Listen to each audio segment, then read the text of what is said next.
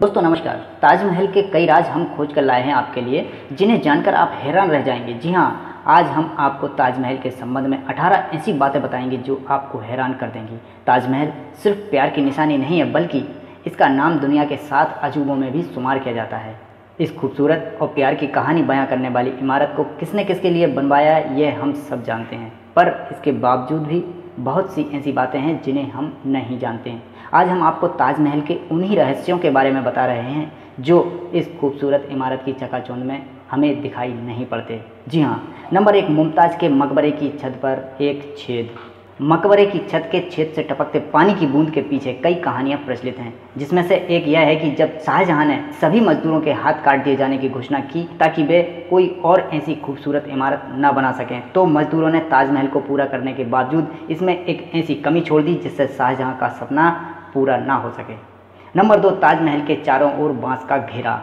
द्वितीय विश्व युद्ध 1971 भारत पाकिस्तान युद्ध। 9/11 के बाद इस भव्य इमारत की सुरक्षा के लिए एएसआई ने ताजमहल के चारों ओर बाँस की सुरक्षा का घेरा बनाकर उसे हरे रंग की चादर से ढक दिया था, जिससे ताजमहल दुश्मनों को नज़र न आए और इसे किसी प्रकार की क्षति होने से बचाया जा सके। नंबर तीन, शाहजहां ने पहली बार जब ताजमहल को देखा जब शाहजहाँ ने पहली बार ताजमहल का दीदार किया तो उसने कहा, ये सिर्फ़ प्यार की कहानी बयां नहीं करेगा, बल्कि उन सबको दोष मुक्त करेगा जो इस पाक ज़मीन पर अपने कदम रखेंगे और चाँद सितारे इसके गवाही देंगे। नंबर चार, मजदूरों के हाथ काट दिए गए। ताजमहल बनने के बाद की एक अफवाह यह भी थी कि शाहजहाँ ने मजदूरों के हाथ कटवा दिए थे। पर अगर इतिहास पर नज़र डाली जाए तो ताजमहल के बाद भी कई इमारतों को बनवाने में उन लोगों का योगदान रहा था।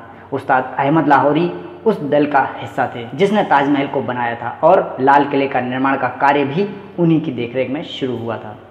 नंबर पाँच, ताजमहल की मीनार। अगर ताजमहल की मीनारों पर ध्यान दिया जाए तो हम पाएँगे कि चारों मीनार एक दूसरे की ओर झुके हुए नज़र आते हैं, जिन्हें बिजली और भूकंप के दौरान मुख्य गुंबद पर न गिरने के लिए इस एंगल में बनाया गया है।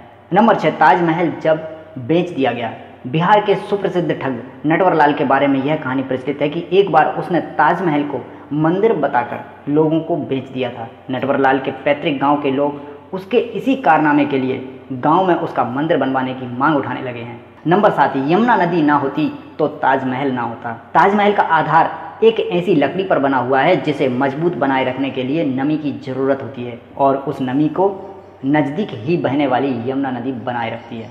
नंबर आठ पिसाचों की कलाकृति। ताजमहल की कलाकृति में 28 तरह के कीमती पत्थरों को लगाया गया था, जो चीन, तिब्बत से लेकर श्रीलंका से लाए गए थे। ब्रिटिश काल के समय इन बेशकीमती पत्थरों को अंग्रेज़ों ने निकाल दिया था, जिसके बारे में यह कहा जाता है कि ये बेशकीमती पत्थर किसी की भी आँखें चौंधी आने की काबिलियत रखते थे। नंबर नौ, कुतुब मीनार से भी लंबा है ताजमहल। कुतुब मीनार को देश की सबसे ऊँची इमारत के तौर पर जाना जाता है, पर इसकी ऊंचाई भी ताजमहल के सामने छोटी पड़ जाती है। सरकारी आंकड़ों के अनुसार ताजमहल कुतुब मीनार से पाँच फुट ज़्यादा लंबा है। नंबर दस, ताजमहल पर खर्च। शाहजहां ने जब ताजमहल बनवाया था, उस समय लगभग 32 मिलियन खर्च हुए थे, जिसकी आज कीमत 106.28 लाख यूएसडी डॉलर में है। नंबर 11 सारे फब्बारे एक ही समय पर काम करते हैं। ताजमहल में लगा कोई भी फब्बारा किसी पाइप से जुड़ा हुआ नहीं है, बल्कि हर फब्बारे के नीचे एक तांबे का टैंक बना हुआ है, जो एक ही समय पर भरता है और दबाव बनने पर एक ही साथ काम करता है। नंबर बारह, ताजमहल का गायब होना। 8 नवंबर 2000 का दिन ताजमहल को देखने वालों के लिए बड़ा ही अचंभित कर देने वाला था, पीसी सोरकर ने ऑप्टिकल साइंस के ज़रिए ताजमहल को गायब करने का भ्रम पैदा कर दिया था। नंबर तेरह, बारह हज़ार सैलानी। ताजमहल एक दिन में वर्ल्ड में सबसे ज़्यादा देखी जाने वाली भव्य इमारतों में से सबसे ऊपर है। इसे देखने के लिए पूरी दुनिया से बारह हज़ार सैलानी हर रोज़ आगरा आते हैं। नंबर चौदह, काले ताजमहल का सपना। शाहजहां की एक ख्वाहिश यह भी थी कि जैसे उसने अपनी बीवी के लिए सफ़ेद ताजमहल बनवाया था, वैसा ही एक काला ताजमहल खुद के लिए बनवा सकें। पर शाहजहां को जब उसके बेटे औरंगज़ेब ने कैद कर लिया तो उसका ये सपना बस सपना ही रह गया। नंबर पंद्रह, ताजमहल के साथ पहली सेल्फी। आज हम सब सेल्फी के दीवाने हैं, पर जॉर्ज हॉरिसन नाम के इस व्यक्ति ने फ़िश आई लेंस की मदद से उस समय सेल्फी ली थी जब सेल्फी का दौर ही नहीं था। मतलब ताजमहल के साथ पहली सेल्फी जॉर्ज हरिसन ने ही ली थी। नंबर 16 ताजमहल का रंग बदलता है। यह बात ज़रूर हैरान करने वाली है, पर ताजमहल का रंग भी बदलता है। दिन के अलग अलग पहर के हिसाब से ताजमहल भी अपना रंग बदलता रहता है। सुबह देखने पर ताजमहल गुलाबी दिखता है और शाम को दुधिया सफ़ेद और चांदनी रात में सुनहरा दिखता है। नंबर सत्रह अमरीका में ताजमहल।